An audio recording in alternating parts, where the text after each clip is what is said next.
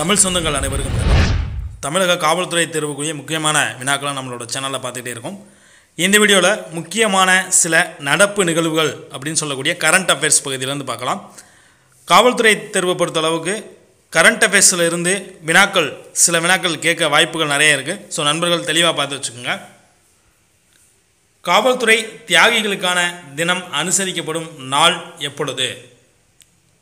இதோட விடை என்ன அப்படின்னா அக்டோபர் இருபத்தி ஒன்று.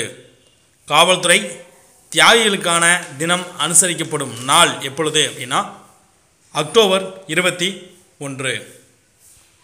இரண்டாயிரத்தி இருபத்தி மூணாம் ஆண்டைய காந்தி ஜெயந்த் காந்தி ஜெயந்தி அன்று நடைபெற்ற கிராம சபை கூட்டங்களின் கருத்துரு என்ன அப்படின்னா இதோட கருத்துரு என்ன அப்படின்னா அனைவருக்கும் அனைத்தும் அப்படின்றது தான் இந்த காந்தி ஜெயந்தி அன்று நடைபெற்ற கிராம சபை கூட்டத்தின் கருத்துரு.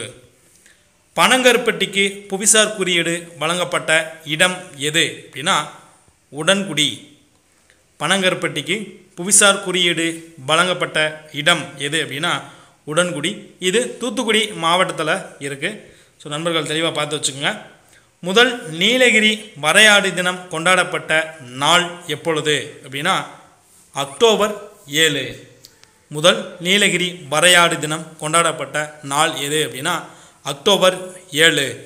மிக செலக்டிவாக இருக்கக்கூடிய கரண்ட் அஃபேர்ஸ் தான் எடுத்து கொடுத்துருக்கு. ஸோ நண்பர்கள் அதையும் நல்லா தெளிவாக பார்த்து வச்சுக்கோங்க. இலங்கை பயணியர் படகு சேவை தொடங்கப்பட்ட இடம் எது? எந்த நகரங்களுக்கு இடையில் எந்த நகரத்துலேருந்து தொடங்கினாங்க அப்படின்னு கேட்டிருக்காங்க. நாகப்பட்டினம். இலங்கை பயணியர் படகு சேவை தொடங்கப்பட்ட இடம் நாகப்பட்டினம். தமிழகத்தில் தமிழக சட்டமன்றத்தால் ஏற்றுக்கொள்ளப்பட்ட சமாதான் திட்டம் எதனுடன் தொடர்புடையது? சமீபத்தில் தமிழக சட்டமன்றத்தால் ஏற்றுக்கொள்ளப்பட்ட சமாதான் திட்டம் எதனுடன் தொடர்புடையது அப்படின்னா ஜிஎஸ்டியுடன் தொடர்புடையது. நல்லா பார்த்து வச்சுக்கோங்க. சமாதான் திட்டம் அப்படின்னு கேட்பாங்க ஜிஎஸ்டி இஸ்ரோவின் இரண்டாவது விண்வெளி நிலையம் அமைக்கப்பட உள்ள இடம் எது அப்படின்னா நண்பர்கள் தெளிவாக பார்த்துக்கோங்க. தூத்துக்குடி குலசேகர பட்டினம் இங்கே தான் இஸ்ரோவின் இரண்டாவது விண்வெளி நிலையம் அமைக்கப்பட உள்ளது. தமிழக அரசு வரலாற்று சின்னமாக அறிவிக்கப்பட உள்ள சமணர் குகை அமைந்துள்ள இடம் எது அப்படின்னா ஆம்பூர். தமிழக அரசு வரலாற்று சின்னமாக அறிவிக்கப்பட உள்ள சமணர் குகை அமைந்துள்ள இடம் எங்கு அப்படின்னா ஆம்பூர். அதுக்கப்புறம் பாருங்கள் தமிழக அரசின் பன்னாட்டு கனித்தமிழ் மாநாடு நடைபெற உள்ள இடம் எது அப்படின்னா சென்னை. ஆப்ஷனில் தஞ்சை மதுரை கொடுத்தனால கன்ஃபியூஷன் ஆகிறாதீங்க தமிழக அரசின் பன்னாட்டு கனித்தமிழ் மாநாடு நடைபெற உள்ள இடம் சென்னை. தமிழ்நாடு வரைவு வாக்காளர் பட்டியல் ரீசெண்டாக இப்போ வரைவு வாக்காளர் பட்டியல் போய்கிட்டு இருக்கு தமிழ்நாடு வரைவு வாக்காளர் பட்டியல் இரண்டாயிரத்தி இருபத்தி மூணின் படி அதிக வாக்காளர்களை கொண்ட சட்டமன்ற தொகுதி எது அப்படின்னா சோழிங்கநல்லூர் தமிழ்நாடு வரைவு வாக்காளர் பட்டியல் இரண்டாயிரத்தி இருபத்தி மூணின் படி அதிக வாக்காளர்களை கொண்ட சட்டமன்ற தொகுதி. வினாக்களை நல்லா படிங்க அதுக்கப்புறம் ஆன்சர் பண்ணுங்கள் சட்டமன்ற தொகுதி எது அப்படின்னா சோழிங்கநல்லூர்.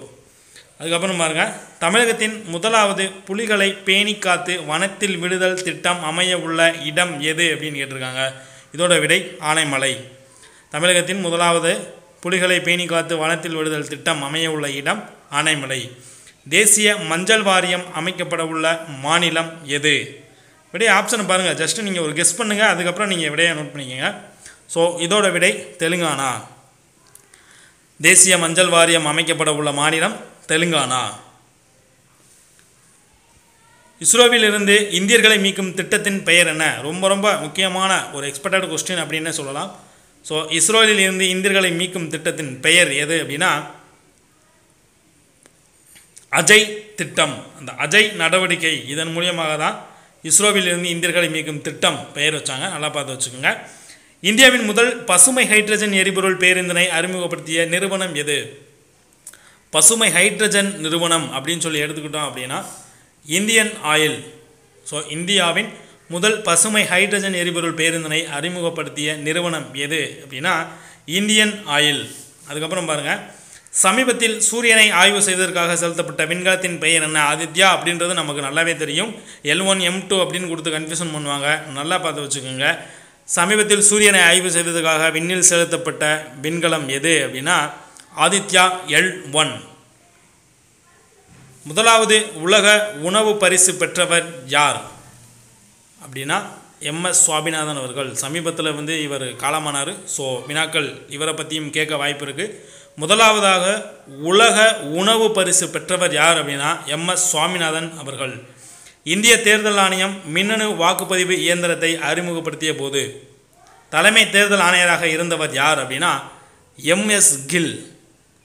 இந்திய தேர்தல் ஆணையம் மின்னணு வாக்குப்பதிவு இயந்திரத்தை அறிமுகப்படுத்திய போது தலைமை தேர்தல் ஆணையராக இருந்தவர் யார் அப்படின்னா எம்எஸ் கில். ஏன் அப்படின்னா இவர் தான் சமீபத்தில் வந்து இவரும் காலமாக இருப்பார் ஸோ நல்லா பார்த்து வச்சுக்கோங்க. இந்தியாவின்